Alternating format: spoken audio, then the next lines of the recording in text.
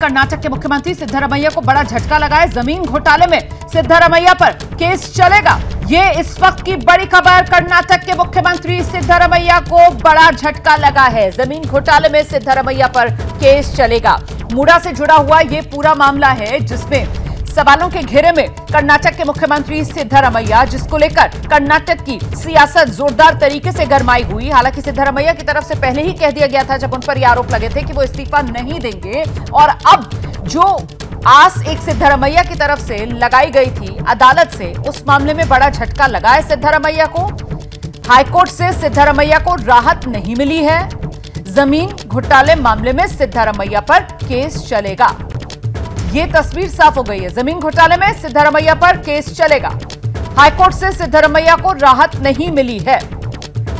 एक बार फिर से आपको बता दूँ कि मुडा से जुड़ा हुआ यह पूरा का पूरा मामला, जिसमें अदालत का दरवाज़ा सिद्धरमैया, कर्नाटक के जो मुख्यमंत्री हैं, उनकी तरफ़ से खटखटाया गया था। दबाव उन पर जोरदार था कि वो इस्तीफा दे दें। हालाँकि वो इस्तीफा नहीं देंगे, इस बात को लेकर वो अड़ गए थे और अब हाईकोर्ट से जिस तरीके की राहत की वो उम्मीद कर रहे थे, वो मिली नहीं, बल्कि उल्टा झटका सिद्धारमैया को लगा है हाईकोर्ट से। सीधे आपको लेकर चलेंगे। हमारे साथ हमारे सहयोगी आशीष इस समय मौजूद हैं। जरा जानते हैं आशीष से, इस खबर का कर्नाटक की सियासत पर असर क्या होगा, आशीष? देखिए अभी तो सिद्धरमैया को झटका लगा है, ज़ाहिर तौर पर गवर्नर का जो प्रोसिक्यूशन सैंक्शन का मामला था, उसको हाईकोर्ट ने जो सिद्धरमैया हाईकोर्ट गए थे हाईकोर्ट ने कहा कि नहीं प्रोसिक्यूशन सैंक्शन जो गवर्नर ने दिया है, वो जारी रहेगा। तो ज़ाहिर तौर पे अब सिद्धरमैया मुख्यमंत्री कर्नाटक के खिलाफ केस चलेगा, मामला चलेगा, इस मुडा स्कैम में।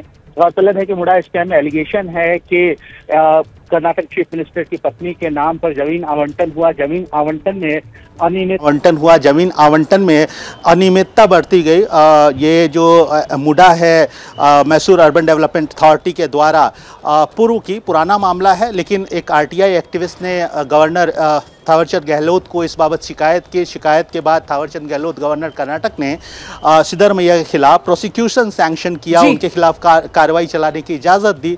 उसके खिलाफ सिद्धरमैया मुख्यमंत्री हाईकोर्ट पहुँचे थे और हाईकोर्ट ने अब कहा है कि नहीं प्रोसिक्यूशन जो अप्रूवल है अप्रूवल है गवर्नर हाउस की तरफ़ से वो सही है और उनके ऊपर कार्रवाई चलाई जाए और ऐसे में महत्वपूर्ण ये हो जाता है कि ये मामला जब सामने आया था उस वक्त जिस तरीके का इस्तीफे का दबाव सिद्धारमैया पर बना था जिसको लेकर सिद्धरमैया डट गए थे कि वो इस्तीफा बिल्कुल नहीं देंगे अब क्या एक बार फिर से वही इस्तीफे की मांग वाली जो मांग है वो ज़ोर पकड़ सकती है आशीष? देखिए हमने रोमाना बार बार इस बात, बाबत खबर दिखाई थी कि जब से यह मामला सामने आया प्रोसिक्यूशन सैंक्शन जब से गवर्नर हाउस की तरफ़ से दिया गया, तब से कांग्रेस के अंदर, कर्नाटक कांग्रेस के अंदर बार बार आवाज़ उठती रही, इस्तीफे को लेकर सीएम की कुर्सी को लेकर, चाहे वो डी के शिव कुमार जो उप मुख्यमंत्री हैं, उनको माना जाता है एक दूसरा खेमा, सिद्धरमैया के खिलाफ का खेमा, उनके समर्थकों की तरफ़ से, सिद्धरमैया के समर्थकों की तरफ़ से, उनके विधायकों की तरफ़ से, उनके मंत्रियों की तरफ़ से ये कहा गया कुर्सी खाली नहीं है तो कोई सवाल सवाल ही नहीं है किसी नए चेहरे को सामने आने का। इस बीच राहुल गांधी अमेरिका में होते हैं। डिप्टी चीफ मिनिस्टर डी के शिव कुमार वो भी अमेरिका जाते हैं। वहाँ उनकी राहुल गांधी से मुलाकात होती है और उस मुलाकात के बाद एक इंटरेस्टिंग लाइन डी के शिव कुमार बोलते हैं कि उनकी और राहुल गांधी उनके नेता हैं उनके बीच में क्या बात हुई ये मीडिया को बताने की ज़रूरत नहीं है। अब चूँकि प्रोसिक्यूशन का सैंक्शन हो गया है अब उनके सिद्धरमैया के खिलाफ कार्रवाई चलाई चलाई जाएगी तो ज़ाहिर तौर पर कर्नाटक कांग्रेस के अंदर उथल पुथल तो मचेगी मचेगी मचेगी। डीके शिव कुमार एक कद्दावर नेता है बड़े नेता हैं सिद्धारमैया भी बड़े नेता हैं। दो बड़े नेताओं के बीच में कैसे कुर्सी को लेकर जंग छिड़ती है वो देखने वाली बात होगी। हालाँकि अभी तो मौजूदा जो हमारे सोर्सेज कांग्रेस में है उनका कहना है कि अभी चेहरा सीएम सिद्धारमैया के कुर्सी के ऊपर कोई खतरा नहीं है लेकिन आने वाले दिनों में कैसे राजनीति रंग लेती है वो देखना होगा। अच्छा आशीष मुझे ये बताइए कि फ़िलहाल हाईकोर्ट से तो झटका लग गया है सिद्धारमैया को, लेकिन अभी ऊपरी अदालत का कानूनी विकल्प, क्या वो भी सिद्धारमैया की तरफ़ से आजमाया जा सकता है? जो कानून के जानकार हैं इसको लेकर वो क्या जानकारी दे रहे हैं?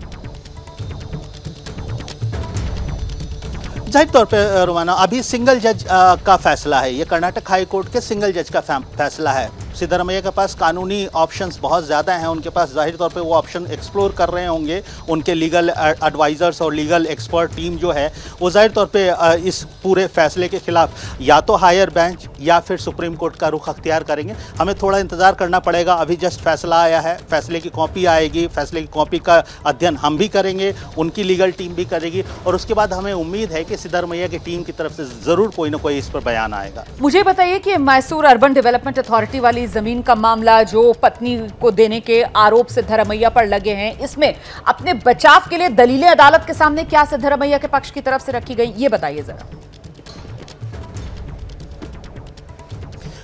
देखिए सिद्धरमैया ने का हमेशा कहना है कि ये जो आवंटन है सिर्फ़ उनको नहीं हुआ। उनके अलावा कई ऐसे लोग थे, पचास से ज़्यादा ऐसे लोग हैं जिनको ये आवंटन हुआ। आवंटन उनका कहना है सिद्धरमैया का कहना है कि नियमों को पूरी तरीके से समझ कर रखा गया। हालाँकि आरोप यह है कि इनको, इनकी जो ज़मीन जिसका अधिग्रहण मुडा ने किया था, मैसूर अर्बन डेवलपमेंट अथॉरिटी ने किया था, उसकी कीमत और उसकी क्वालिटी के हिसाब से बहुत ही कीमती या बेशकीमती ज़मीन सिद्धरमैया के परिवार को, उनकी पत्नी के नाम पर अलॉटमेंट मुडा ने किया। लेकिन सिद्धरमैया बार बार कहते हैं कि उनके ज़मीन का अधिग्रहण हुआ न सिर्फ़ उनकी ज़मीन के अधिग्रहण के, के बदले मुडा ने ज़मीन का आवंटन किया बल्कि अन्य लोगों की ज़मीन के आवंटन के बदले भी मुडा ने अधिग्रहण के बदले मुडा ने आवंटन किया ज़मीनों का।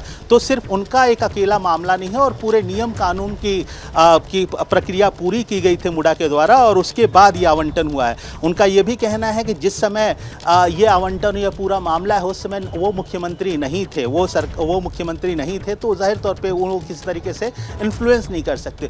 तीसरा बचाव उनका यह है कि इस पूरे आवंटन में उनका सीधा कोई रोल नहीं है।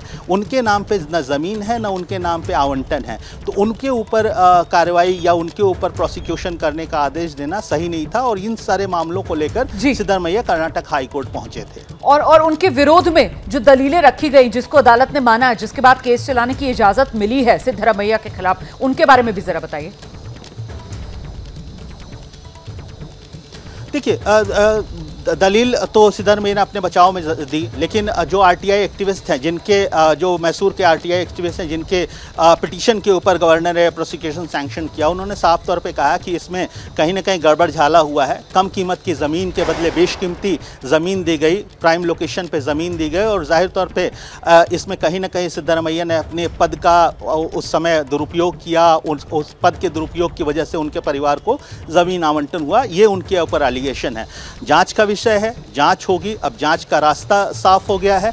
जाँच के बाद ये तय होगा कि क्या आवंटन में वाकई में घोटाला हुआ था। लेकिन ये तो तय है कि फैसला हाईकोर्ट के आने के बाद राज्य की राजनीति ज़रूर गर्म होगी। आप रहिए मेरे साथ। वो राजनीति जो गर्म हो रही है, किस रूप में हो रही है, क्योंकि हमारे सहयोगी नीरज पांडे और उनके साथ इस समय बीजेपी के बड़े नेता शाहनवाज हुसैन साहब मौजूद है। जरा नीरज के पास ही लेकर चलते हैं दर्शकों को। नीरज, जरा शाहनवाज हुसैन साहब से समझिए कि ये जो सिद्धरमैया के खिलाफ केस चलाने की इजाज़त हाईकोर्ट ने दी है, अब इस पर बीजेपी का रिएक्शन।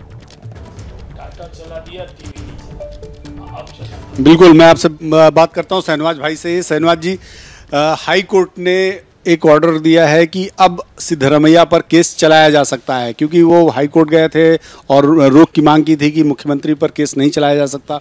लेकिन हाई कोर्ट ने साफ़ कर दिया कि कोई भी अपराध है, उस मामले में किसी के खिलाफ भी केस चलाया जा सकता है और सिद्धरमैया के खिलाफ केस चलाने की इजाज़त हाईकोर्ट ने दे दी है। कब तक खैर मनाएँगे सिद्धारमैया अब तो हाई कोर्ट में भी वो गए थे बचाव के लिए। फैसला आ गया है।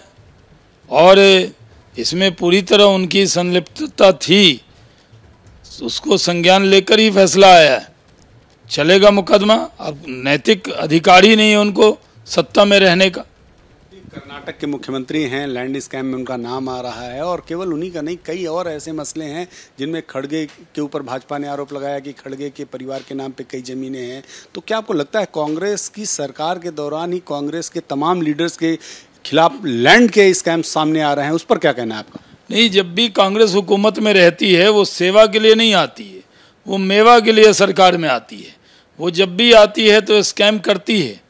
जो लैंड स्कैम वहाँ हुआ है इसकी चर्चा गांव-गांव में हर जगह है। और इस मामले को लेकर वो हाईकोर्ट गए थे वहाँ से राहत मिली नहीं है। अब उनको सत्ता में रहने का कोई अधिकार नहीं अभी तो रास्ते खुले हैं डबल बेंच में जा सकते हैं सुप्रीम कोर्ट आ सकते हैं। नहीं वो रास्ते रास्ते तो बहुत सारे खुले रहते हैं। रास्ते तो अरविंद केजरीवाल के लिए भी खुले हुए थे। और एक अदालत से दूसरी अदालत जा रहे थे। लेकिन एक नैतिकता के आधार पर क्या उनको सत्ता में रहने का कोई अधिकार है? क्या लगता है भारतीय जनता पार्टी इस मसले को किस रूप में ले जाएगी? क्या जनता के बीच में आप लोग जाएँगे जनता के बीच में प्रदर्शन करेंगे धरना देंगे? क्योंकि अब तो मामला कोर्ट में चला गया पुलिस के पास इन्वेस्टिगेशन चली गई वो तो अलग विषय हो गया लेकिन पॉलिटिकली भारतीय जनता पार्टी इसे किस रूप में लेगी? नहीं हम लोग शुरू से इसको कह रहे थे कि जो मोडा स्कैम हुआ है इसको लेकर जाँच की बात हम कर रहे थे और हमने ही इसका पूरा दबाव बनाया था कि इस स्कैम में ये शामिल है। जी। और अब तो बात आ गई है वो हाईकोर्ट गए थे अब हाईकोर्ट से उनको झटका मिला है। जी। अब उनको इसको स्वीकार करना होगा और सत्ता में रहने का अब उनका कोई अधिकार बचा नहीं। जी नीरज नीरज मेरी तरफ़ सवाल से हो तो नीरज मेरी तरफ़ से एक सवाल पूछ लीजिए सीधे सीधे इस्तीफे की मांग करेंगे सिद्धारमैया से शाहनवाज भाई से पूछिए जरा। सनवाज भाई रोमाना हमारी जो सीनियर एंकर हैं वो कह रही हैं कि क्या आप लोग सीधे तौर पर सिद्धरमैया का इस्तीफा मांगेंगे? नहीं क्यों नहीं? उनको तो एक मिनट भी नहीं रहना चाहिए। उनको सरकार में रहने का कोई अधिकार नहीं। ये करीब तीन हज़ार करोड़ का ये मामला है। मोडा स्कैम कर्नाटक का सबसे ज्वलंत मुद्दा है और इसमें उस सरकार को रहने का कोई अधिकार नहीं है। और जी। एक ही स्कैम नहीं है कई स्कैम है। स्कैम पर स्कैम, यही तो कांग्रेस की पहचान है। जब सेंट्रल में थे तो लूट की छूट मिली हुई थी, और जब स्टेट में कहीं हुकूमत मिल जाती है तो वहाँ भी लूट की छूट ले लेते हैं। बहुत शुक्रिया नीरज आपका शाहनवाज हुसैन साहब से बातचीत करने के लिए। मैं सीधे दर्शकों को लेकर चलती हूँ। हमारे सहयोगी आशीष भी इस समय हमारे साथ मौजूद हैं। आशीष जो मांग बीजेपी के बड़े नेता शाहनवाज हुसैन साहब अभी एबीपी न्यूज़ के कैमरे पर कर रहे थे इस्तीफा दें सिद्धारमैया यही मांग अब कर्नाटक में। बीजेपी और जेडीएस मिलकर सड़क पर उतर सकते हैं। क्या इस्तीफे की मांग को लेकर कोई बड़ा आंदोलन खड़ा किया जा सकता है कर्नाटक में विपक्ष की तरफ़ से? देखिए जब से ये मामला पूरा सामने आया तब से बीजेपी जेडीएस के जो गठबंधन है कर्नाटक में वो इस मामले पर अग्रेसिव रही है। यहाँ तक कि बैंगलोर से लेकर उन्होंने मैसूर तक की एक पदयात्रा भी निकाली थी जुलाई के महीने में। उस पदयात्रा में का मकसद यही था कि सरकार पर दबाव बनाई जाए और सरकार इस्तीफे सरकार से के मुखिया के तौर पर सिद्धरमैया इस्तीफा दें। बीजेपी लगातार इस मामले में कह रही कहती आ रही है आरोप लगा रही है कि करीब अड़तीस सौ करोड़ रुपए का घोटाला है और इस मामले में सीएम के परिवार की सीधी संलिप्तता है इसलिए सीएम के मुख्य के कुर्सी से उनको इस्तीफा देना चाहिए। अब ज़ाहिर तौर पे हाईकोर्ट का फैसला आया है तो ये मांग और ज़ोर पकड़ेगी। बहुत शुक्रिया आपका आशीष तमाम जानकारी के लिए। तो कुल मिलाकर मुश्किलें यहाँ से कर्नाटका के मुख्यमंत्री सिद्धरमैया के लिए बढ़ती हुई। हाईकोर्ट ने उनके खिलाफ केस चलाने की इजाज़त दे दी है। हालाँकि अभी कानूनी विकल्प सिद्धरमैया के पास बाकी